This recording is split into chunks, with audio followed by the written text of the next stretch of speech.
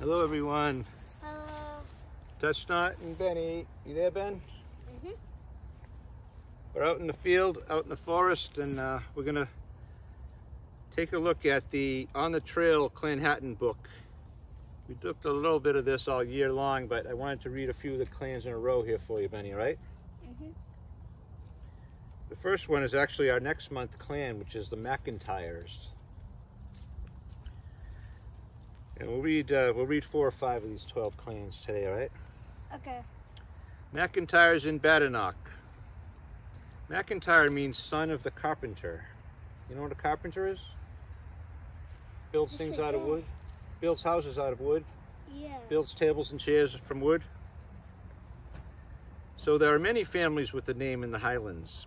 The Clan Chattan McIntyres appear to have been based in Badenoch, and early records suggest that a Macintosh chief took a McIntyre bard, which means a poet or a musician, the family's progenitor, under his protection and employment in 1496. So 14, Long uh, it is a long time ago. Clan McIntosh. Shaw MacDuff. You have some MacDuffs in your and Duffy in your family. Du- You have Duffy, don't you? Uh, I don't know. Yes, you do. I know.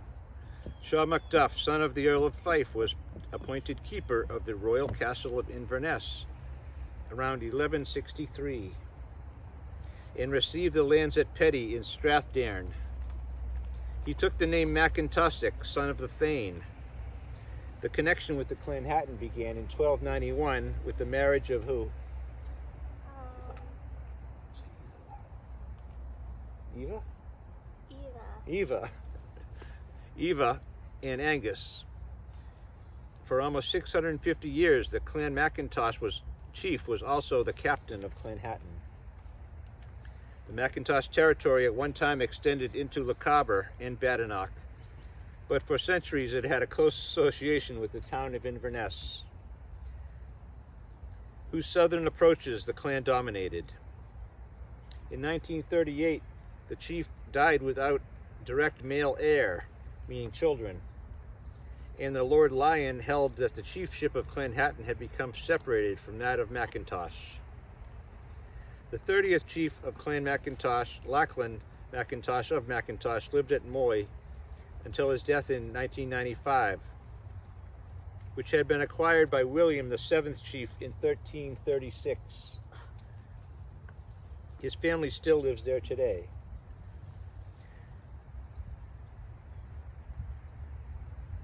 MacLeans of the North.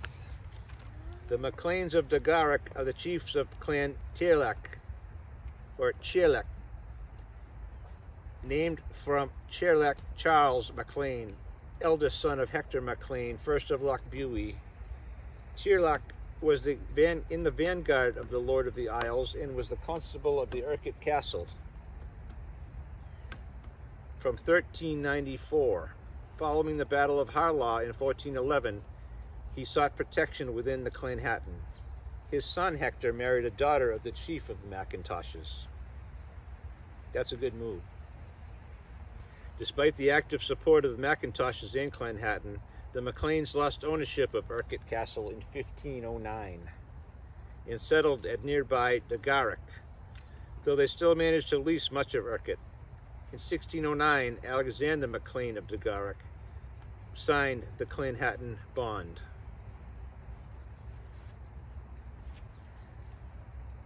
Well, that's three of the clans out of 12, folks. I think that's good. That's one quarter. We'll um, we'll pick this up again at some point and uh, read three at a time. From the On the Trail of the Clan Chattan, the Clan Chattan Association publication. Please join clanchattan.org.uk. You also get the yearly magazine, The Touch Knot, uh, which yours truly uh, writes a article for every year. Uh, I'll be formulating that very soon. Uh, look for that, Donald. I'll have it by, I hope, January. Um, that's going to be full of a lot of things, right, Benny? Yep. We've been having a lot of fun, and uh, maybe I'll put your picture in there. Um, yep, so please join the Clan Chattan Association. It's not all that expensive. The five-year plan is actually very affordable as well. It saves you a little bit of money. So please get to clanchattan.org.uk.